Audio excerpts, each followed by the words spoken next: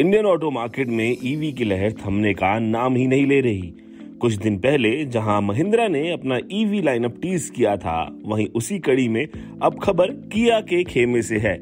किया मोटर्स इस साल अपनी ईवी भारत में लॉन्च कर सकता है।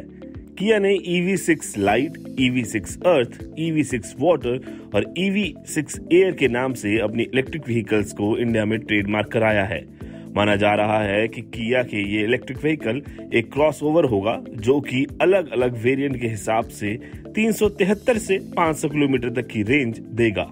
इसके लुक की बात करें तो ये बहुत ही प्रीमियम इलेक्ट्रिक कार की फील देता है। किया EV6 में 19 इंच की अलॉय व्हील्स होंगे 12.3 इंच का डिजिटल कंसोल होगा 12.3 इंच का इंफोटेनमेंट सिस्टम भी लगा होगा, साथ में adjustable driver seat automatic AC wireless charging smart cruise control remote smart parking assist level two highway autonomy driving और हाईवे ड्राइविंग असिस्टेंट सिस्टम समेत कई स्टैंडर्ड और सेफ्टी फीचर्स लगे होंगे। अमेरिका में किया की ईवी सिक्स का दाम तकरीबन 30 से 40 लाख है। अब देखना ये है कि ये गाड़ी भारत में कितनी सस्ती पड़ती है या फिर कितनी महँगी। हमें इंतज़ार रहेगा किया की इस कार का, जिसका नाम है ईवी सिक्स